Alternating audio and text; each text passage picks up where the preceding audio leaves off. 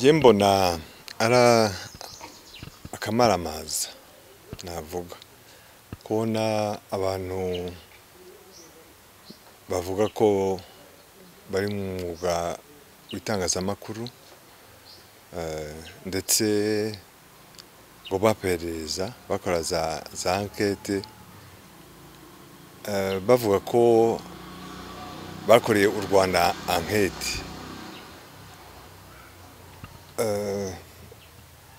kandi abantu bangana kuriya mbese bijya bitwibutsa nka za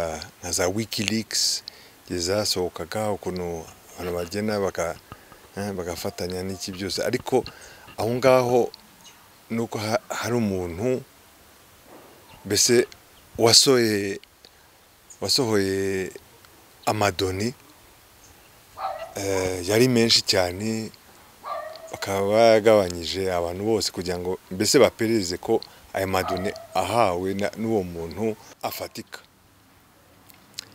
Hano rero kubona abantu no- kubitekereza ukuntu abo bantu bose ba- bajya hamwe sinibaza ko hari ikintu cya ntabwo turi muri iyo senariyo nka ba Assange cyangwa Snowden ba batanze ntuza ibintu bifatika bi- bivuye ahantu bi- bizwi n'iki byose. Kuko twasanze benshi sindabibona byose ariko ibyo nabonye cyane cyane byanyuze mu makuru muri mu Bubiligi ugasanga ari ibintu kugeza n'ubu ngubu tuzi ko ari ibihuha. Ibintu kandi akenshi uko batangaza eh, harimo harimo n'agasuzuguro. Mu- murumva mu- mu- hari nka story imwe bavuga ko ku- rupfu rwa karegeya eh, muri eh, muri South Africa urumva iyo bakoze introduction ngo ngo ngo ngo ngo proche de president Kagame ngo yari mugenzi we. Ni nko gusuzugura institutions zi- z'igihugu. Umuntu yari ashinzwe eh, ubutasi n'iperereza mbese na eh, security mu muri institution. hanyuma na undi akaba ari perezida w'i- w'igihugu ni we mukuru w'igihugu. Ubu se wajya kuvuga ko Biden eh, a- a- ari inshuti y'ushinzwe CIA cyangwa FBI cyangwa cyangwa bose ni abakozi ariko yari abanyafurika bayibona ko mbese ibintu by'abanyafurika bo ni inshuti bihanye imyanya. Ntabwo babona ko u rwanda kuva nyuma ya, jenoside ari za institution ari eh, iby'umutekano ari ingabo ari polisi ari security ni, za institution nk'uko ha- ha- haba leta eh? no, gusuzugura leta z'abanyafurika icyo ni icya mbere ikindi nta nubwo bavuga ko nk'uwo karegeya bavuga ko ari umuntu wakatiwe eh, n'inzego z'ubutabera bwa gisirikare ko bamukuyeho rank ko yabaga agiwe ko mbese yavuye mu rwanda anyura muri mu burasirazuba bwa afurika east african community na tanzania akagera muri south africa agahita yemerwa hariya. Kandi yari umuntu wako- wakoraga muri mu nzego z'ubutasi n'iki byose urumva ni ikintu ni umutekano w'igihugu. Ibyo byose ntabwo bi- bivugwamo.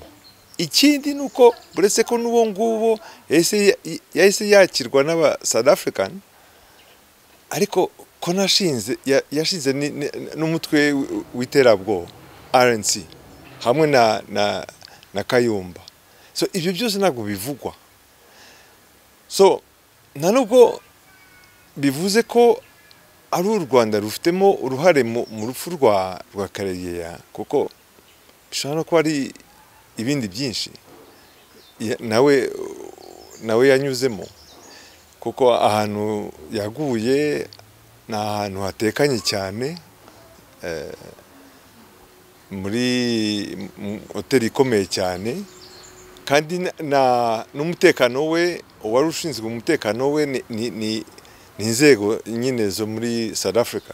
So ibyo byose ntabwo bivugwa kandi byitwa ko ari iperereza abantu bakoze.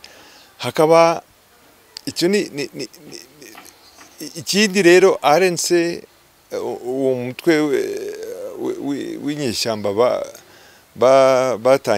batangiranye na Kayumba ntabwo muri ibyo byose eh, abo bantu bavuga ko ari umutwe wavuzwe no muri raporo za Loni ko bakoranye na, FDL n'abandi na ba Victoire Ingabire umutwe witwa P5 yaguma ihuriro ibahuza bose.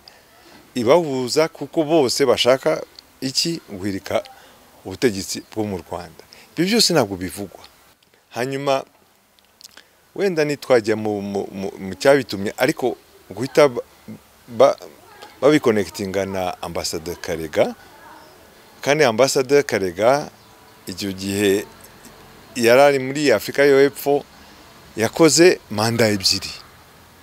Ntabwo abanya South Africa bi- bigize bamushinja icyo ari cyo cyose yakoze manda ebyiri arataha.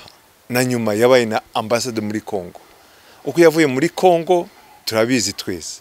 Kari ibibazo biri hagati y'ibihugu. Ariko nta bihuriye na ambasada so kubona rero ko abo banyamakuru ibyo byose ba- bakomeza ku- ku- kubiburowinga ba- bakabigira nk'arimamo kandi, ari, ibihuha twumvise natwe twese nabo nta kintu kindi ba- bavuze muri mu biganiro byabo hanyuma guhita babihuza mbese bashaka nko kwerekana ko inzego za leta zo mu Rwanda ko zigenda zica abantu. Ibyo rero rero aho byaba ari ibindi bindi Eh, na- y'umu- y'umubirigi n'umunyarwanda umwana wa Hassan Ngeze bakavuga ko hari iperereza ririho mu- Bubiligi ariko nta kintu bigize babona iyo myaka yose. Kandi nta n'abantu bashinjwamo nta n'abantu bashinja. Kuko ku- kuri iyo na- nigeze no kubyandikaho eh, igihe Ububiligi bangaga mm, ntuza nomination ya ambasade Karega kandi ndibuka ko nanjye na- nabanje kuperereza. Nasanze iyo case nta kintu kirimo kugeza n'ubwo biranagaragara no mu kantuza ka- kaciye muri televiziyo y'Ububiligi ko ise w'umuntu wapfuye avuga ati ati jye na nta bintu mbona ko ko bya- byatewe n'ubwicanyi bw'abantu batazwi ibyo byose nawe arabyivugira. So ukumva ni gute rero hari ihuriro ry'abanyamakuru ngo bavuga ko bakora muri investigation enquete bagasohora ikintu nta kintu kirimo. Nibyo navuga ko ari akamaramaza. Ariko rero eh, ikindi kibazo umuntu yakwibaza ni kuki ubu ngubu? Aho rero na navuga ko atari ubwa mbere. Iteka yo abanyarwanda bagiye kujya mu matora yemwe na, na, na referendum iteka i buraya hari ibintu bivuka bigomba kuvuga u rwanda.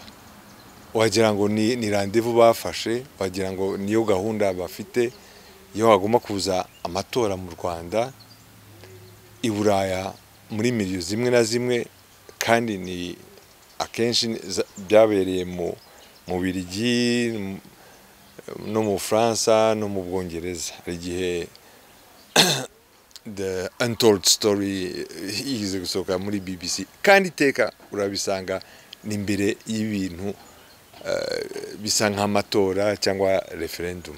So njye mbona ariyo mpamvu mbona nanone ibyo ari byo byose byarasohotse ariko nta kintu kiza ntabwo bizagira icyo bihindura ku, mibereho ya- y'abanyarwanda. Abanyarwanda babona bafite umutekano eh, abanyeshuri bajya mu ishuri. Mbese- mbese ba- babona n'icyo bafungura mu ishuri mu mu rwanda. Ababyeyi bashobora kubyara eh, ntibapfushe ntibapfushe abana babo babyaye. Eh, hari medicare mu rwanda hari mituelle de santé eh, nijoro abantu bakora jogging umuntu aratembera hari amatara ahantu hose muri iki gihugu urumva ubuzima bw'abanyarwanda burakomeye kandi bugenda bu- burushaho eh, ndetse n'ibyo bintu biba byasohotse.